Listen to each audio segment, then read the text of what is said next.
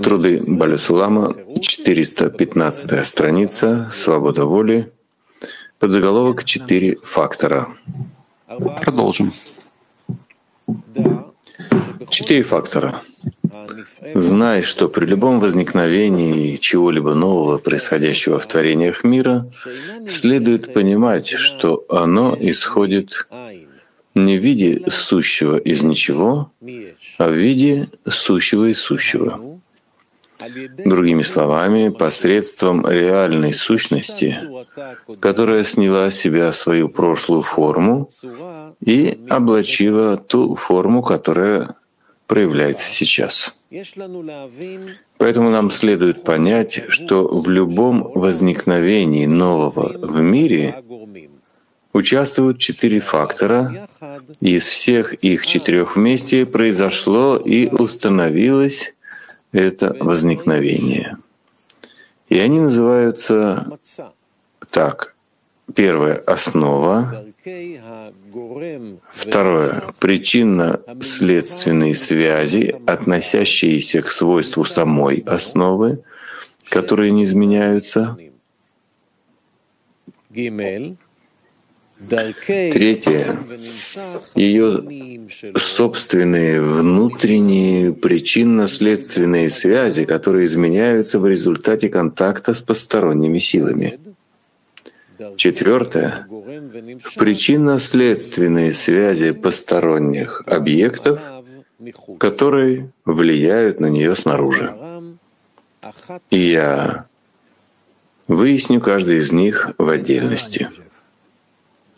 А, дальше, я думаю. Подзаголовок. Первый фактор — основа первичной материи. Первый фактор — это основа, что означает первичную материю, относящуюся к этому возникновению, ведь нет ничего нового под солнцем. А любое возникновение, которое может произойти в нашем мире, относится не к сущему из ничего, а к сущему из сущего. Просто некая сущность сняла с себя свою прошлую форму и облачила на себя другую форму, отличную от прошлой. И та суть, которая сняла с себя прошлую форму, определяется словом «основа» и в ней заложена сила, которая должна будет раскрыться и установиться при завершении формы данного возникновения. И потому она, безусловно, считается для него главным фактором.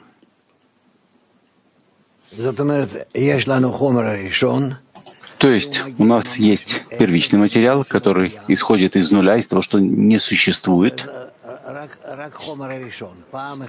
это только первичный материал. Это происходит только один раз. И поэтому он называется первой причиной, основой. Италия 4. Rab, buongiorno. Rab, non mi è chiaro eh, quando dice nella prima Э, Прав, это непонятно. Когда он говорит, что первое условие, первый фактор, основа, которая облачила э, форму предыдущей материи. О какой предыдущей форме говорилось? Все, что мы видим, есть что-то, что было до того и вызвало его, чтобы оно возникло. В то время как есть такая форма, которая называется пер первопричиной, основой. Он первый.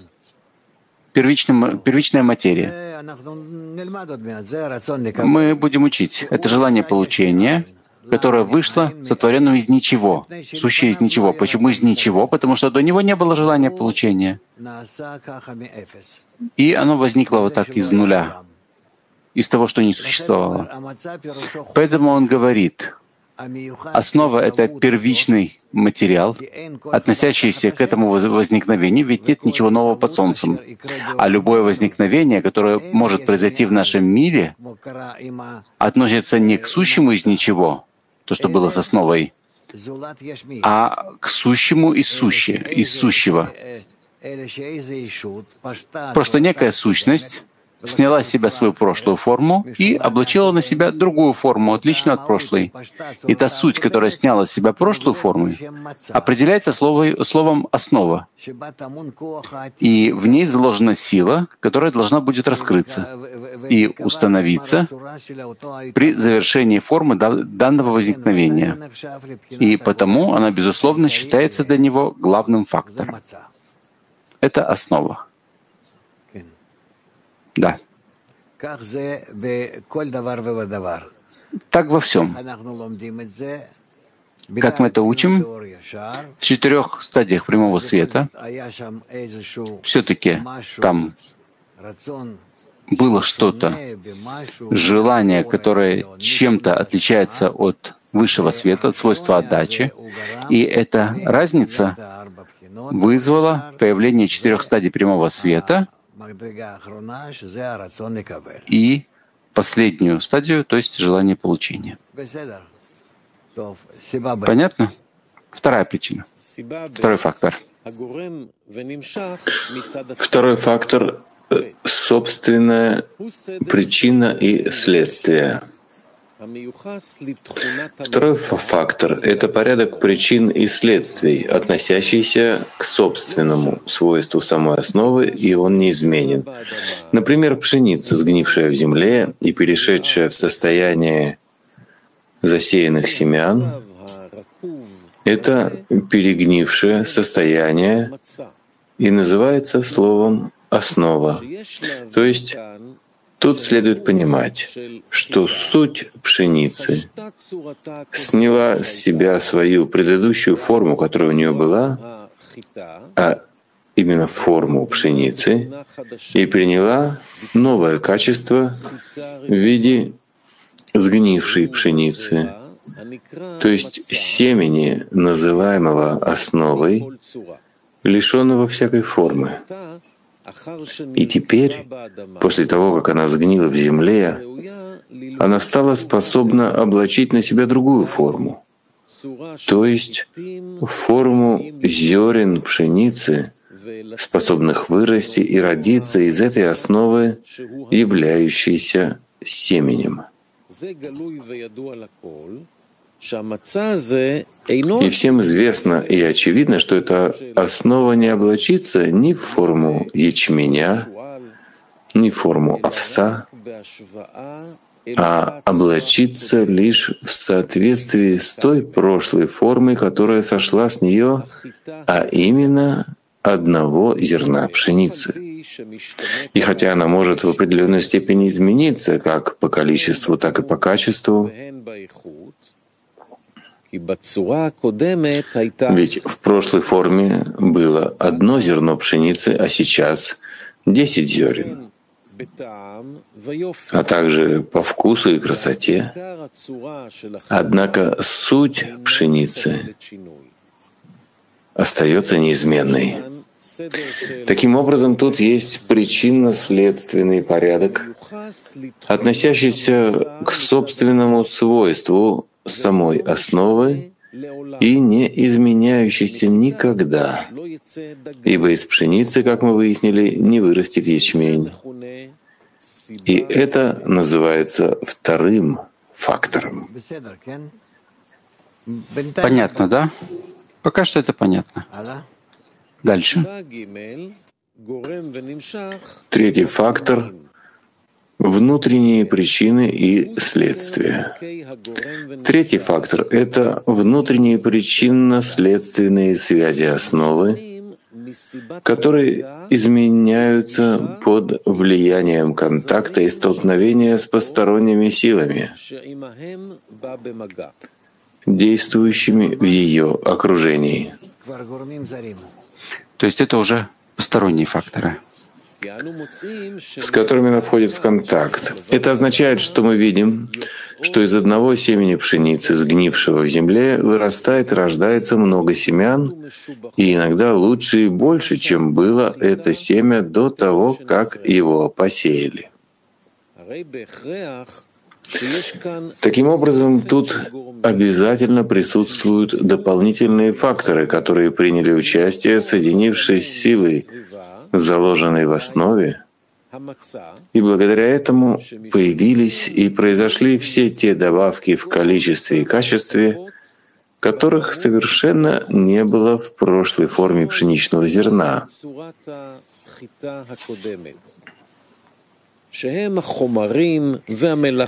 И эти дополнительные факторы, вещества и соли, находящиеся в почве, и дождь, и солнце, и все они влияли на нее, отдавая свои силы и соединяя с силой, заложенной в самой основе,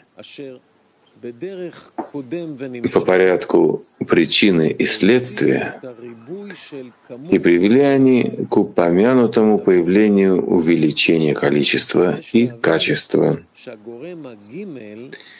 И следует понять, что этот третий фактор соединяется с основой в ее внутренних свойствах, так как сила, заложенная в основе, управляет им, то есть этими факторами, ведь в конечном счете все эти изменения относятся к роду пшеницы, а не к другому роду.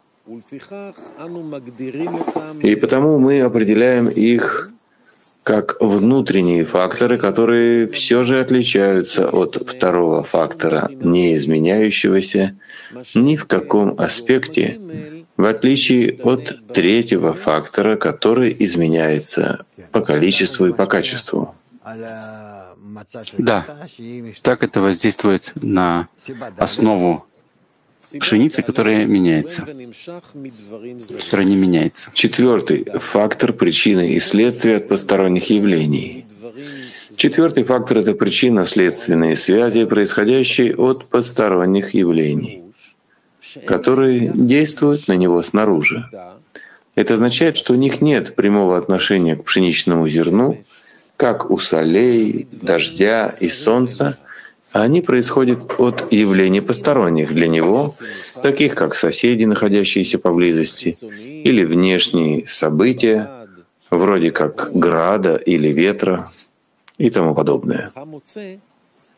И вот ты видишь, что эти четыре фактора соединяются в пшеничном зерне в течение всего времени ее роста, и каждое частное состояние, через которое проходит зерно в течение этого времени, обусловлено всеми четырьмя факторами. Ведь количество и качество состояния определяется ими.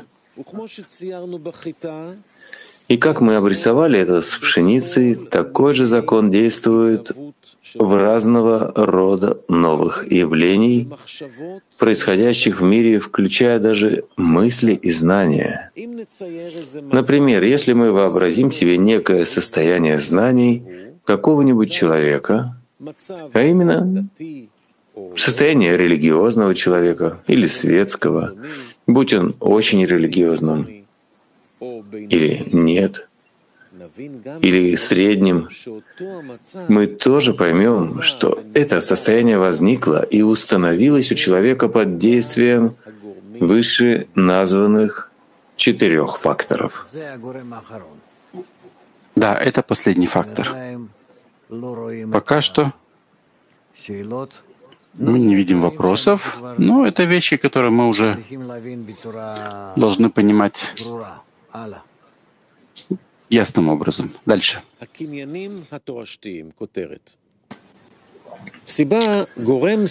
Наследственные обретения. Первый фактор — это основа, являющаяся его первичной материей.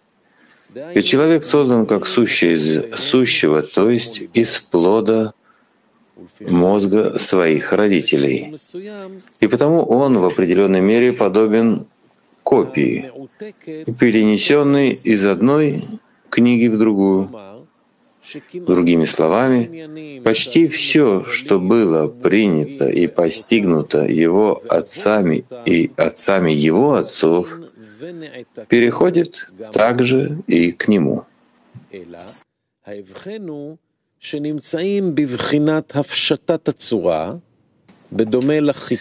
Однако разница состоит в том, что они, то есть эти люди, находятся в состоянии снятой формы, подобно посеянной пшенице, которая может быть семенем лишь после того, как сгнила и сняла с себя прошлую форму.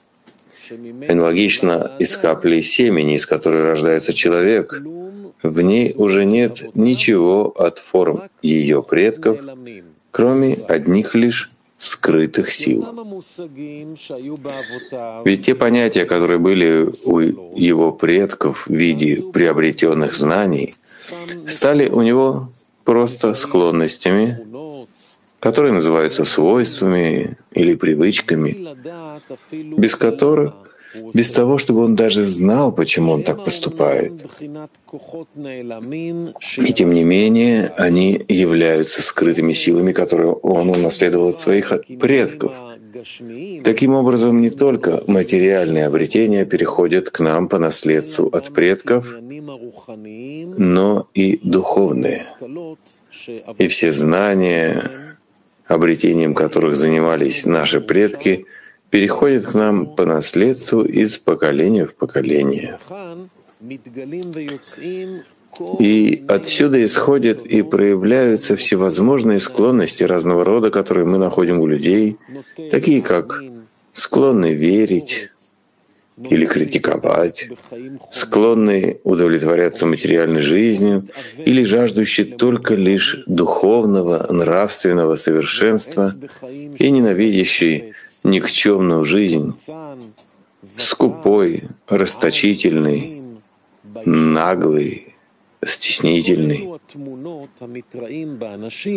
Ведь все эти образы, в которых люди видят, в которых люди видятся нам, происходит не от их собственного обретения, которого они достигли, а лишь посредством простого наследования — которое досталось им от предков и предков их предков.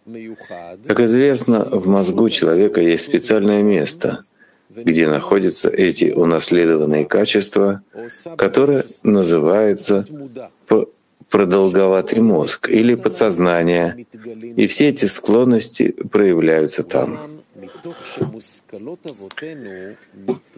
Однако, поскольку знания наших предков, являющиеся результатом их опыта, становятся у нас просто склонностями, они считаются подобными посеянной пшенице, которая сняла с себя прошлую форму и осталась голой, и в ней лишь силы, скрытые они способны принять новые формы. А в обсуждаемом нами предмете склонности способны принять формы знаний, которые поэтому считаются первичной материей. И это первый фактор, являющийся главным и называемый основой, в котором заложены все силы для тех особых склонностей, которые он унаследовал от своих родителей, и они называются наследием предков. И знай, что из всех этих склонностей есть такие, которые проявляются как раз в отрицательном виде, то есть обратно тому, как это присутствовало у его предков. Отсюда происходит выражение, что все, что у отца в тайных мыслях, у сына выражается явно. И причина этого в том, что основа пребывает в состоянии, когда она сняла прошлую форму, чтобы облачить новую. И потому она близко к отрицанию форм знаний его предков, подобно пшенице, сгнившей в земле, теряющей всю ту форму, которая была у зерна. И вместе с тем это зависит от трех остальных факторов, как я уже писал выше.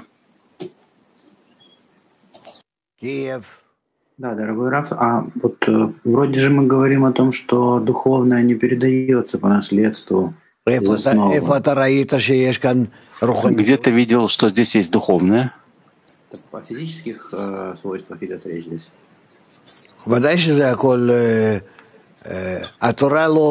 Разумеется, Тора не переходит по наследству. Таков наш закон. И то, что у Бальсулама был такой особый сын, как Рабаш, или у Раби Шимона был особый сын,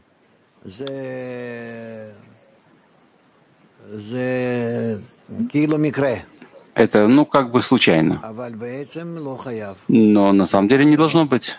Абсолютно нет. А что значит, что то, что у отца было яв... это тайным, у сына становится явным?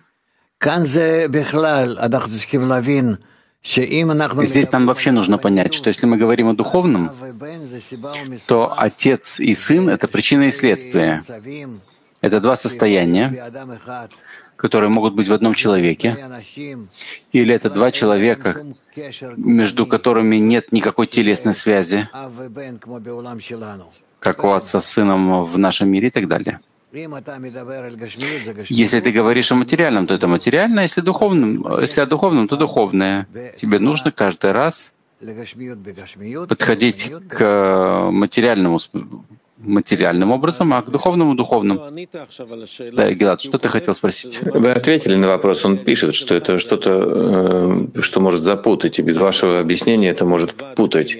Он говорит, что не только обретенные наслед... наследственные свойства есть у нас, но и духовные. Но сейчас вы это объяснили. Это одно. А второе, даже если приходит что-то, мы еще будем учить, что может прийти материальным образом, и это ни к чему совершенно не обязывает. Свобода выбора остается, и она существует в каждом. Что же здесь духовное, а что материальное в тексте? Что такое материальные приобретения приходят в, по наследству?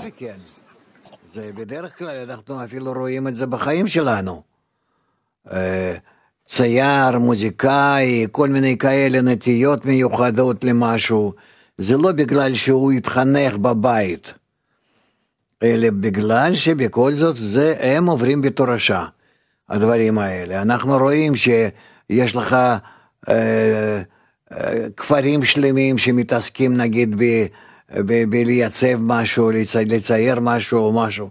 זה, זה, זה, זה ככה זה. אפילו משפיע על זה אווירה של הטבע מסביב, כן? וברוחניות לא.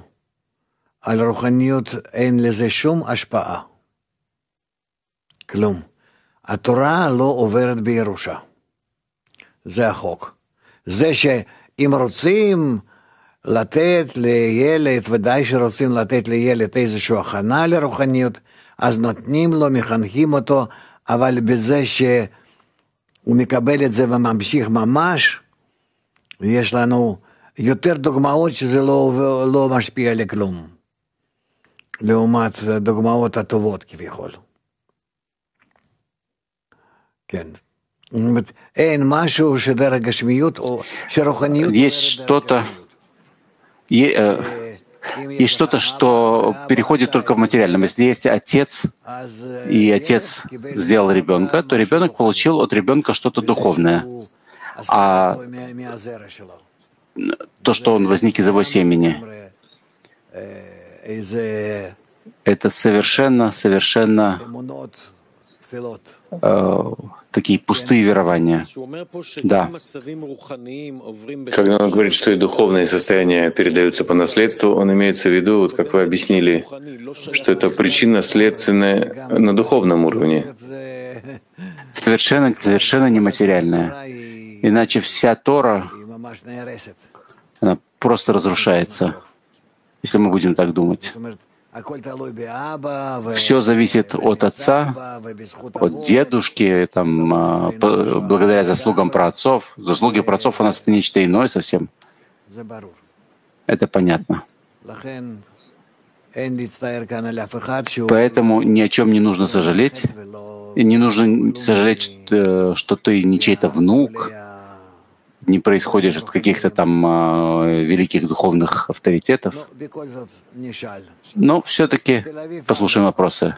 Тель-Авив 4. Спасибо, Раф. Можно ли сказать, что все развитие пшеницы для того, чтобы раскрыть источник, то есть... В конечном счете, да. Москва один. Да, да, дорогой Раф.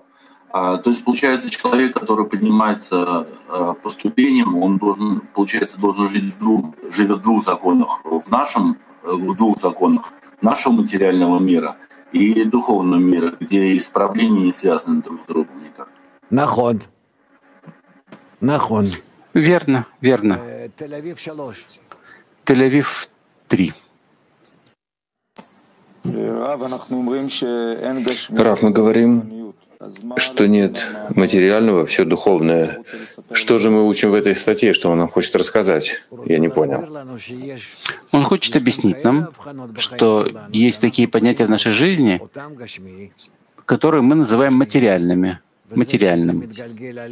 И то, что это переходит к нам, приходит к нам из духовного корня, который охватывает все, ну так да, охватывает верно. Но не относи материальные вещи к духовному, потому что все исходит от Творца. Но не говорится о тебе.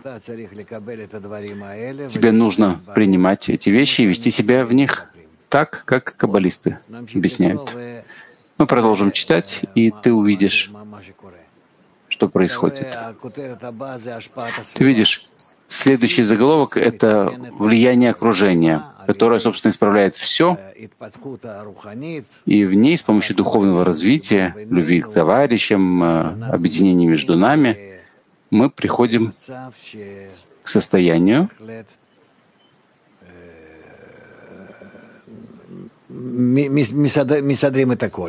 где все приходит в порядок, все зависит от человека, который хочет уподобиться Творцу. Все. Все остальное приходит свыше, все подобны животным.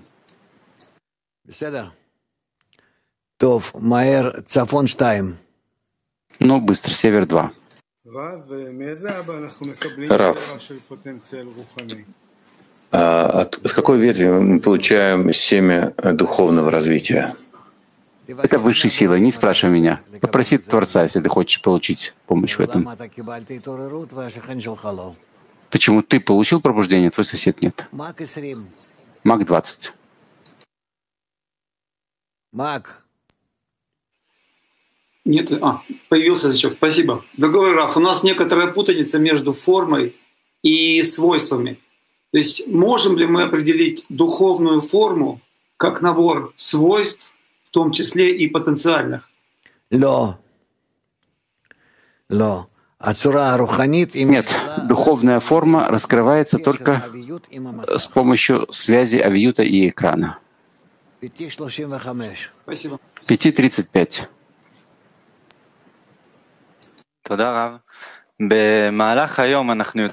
Спасибо, Раф. В течение дня мы выходим из урока в чем заключается наша свобода выбора? Я сейчас э, объясню тебе в течение двух минут, которые остались нам с урока, что такое свободный выбор. Наш свободный выбор — это все время предпочитать связь с товарищами и из товарищей с Творцом, к Творцу. Все. Все остальное иди и учи.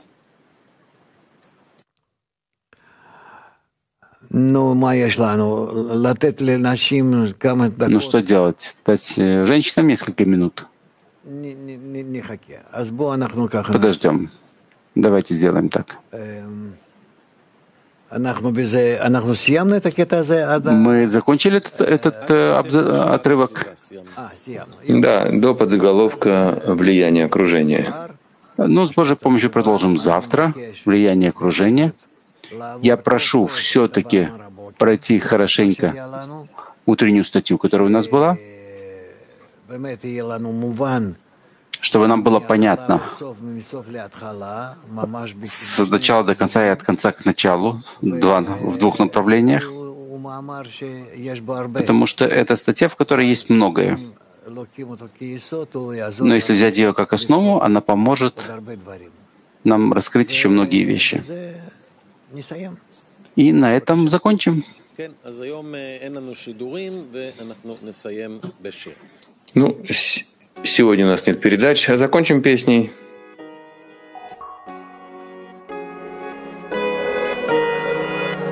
Lost in the sea of empty pleasure And racing after plastic treasure Now something's calling through the pieces of the heart. There's something more, there's something better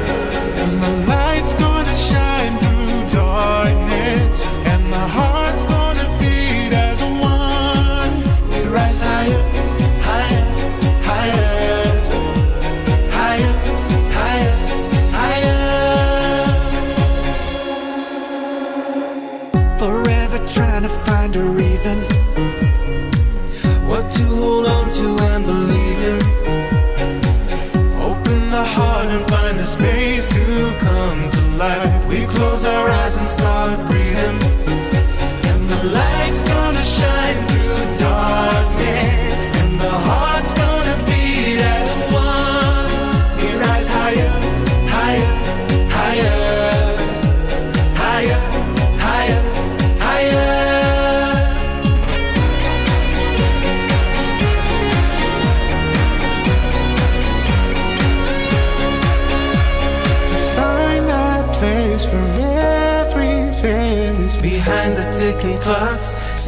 Beyond our box. To feel your love and rise above with each and every part, somewhere above the borders of the heart.